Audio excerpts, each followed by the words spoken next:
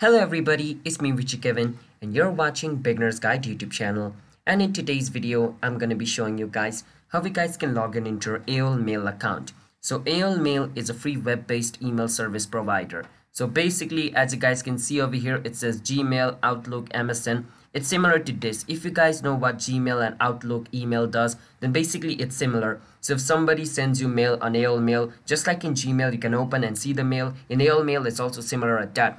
But in Gmail, you have to add at gmail.com. In AOL Mail, you have to add at aolmail.com at the end, all right? That's the only difference because this is not Gmail, this is AOL Mail, all right? So let me show you guys how you guys can log in into your AOL Mail account if you guys have an account in it.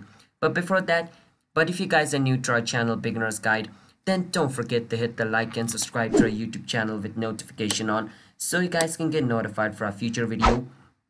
And if you guys have any question, you can feel free to ask us in the comment. Now let's move on with the video. First step, you want to search for AOL Mail. And here's going to be AOL Mail at the beginning. So click on it. And it's going to take you to mail.aolmail.com. Once you're over here, where it says username, you can enter your username or your email or your mobile number. Whichever thing you find comfortable, you can enter it over here. But I'm going to enter my username because that's what I find easy. And if you forget your username, you can always click on forgot username to recover your username as well. And if you want to stay signed in into your account which means if you tick mark this then whenever you come to aolmail.com you don't have to log in into your account every single time. Aolmail is going to automatically log you in into your account all right so that's what ticking this does. So if you want that tick mark this and click on next. And over here you need to enter the password of your account.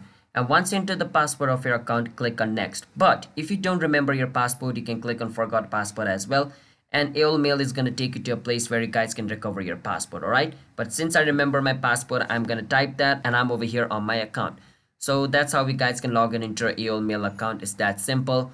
And if you want to send mail, you can go on Compose to create a mail and send to somebody. If you want to see who has sent you mail, you can go on Inbox, alright? So that's the basic gist of how you guys can use it as well.